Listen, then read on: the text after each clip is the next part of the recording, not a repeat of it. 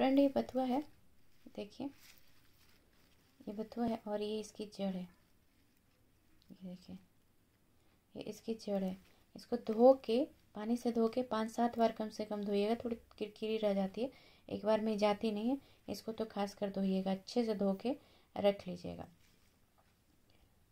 ये दूध है और ये पानी है और ये जड़ है। ये पका हुआ जड़ है।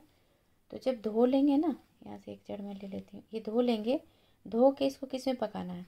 अगर आपके पास दूध नहीं है तो नॉर्मल पानी में पका दीजिए।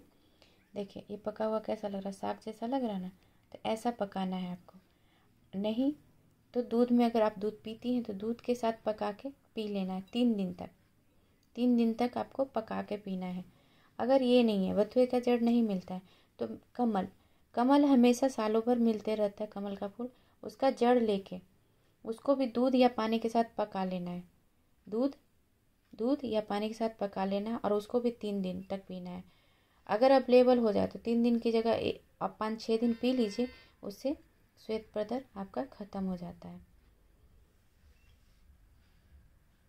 तो मिलते हैं किसी और वीडियो में, किसी और टॉपिक के साथ। तब तक के लिए नमस्कार।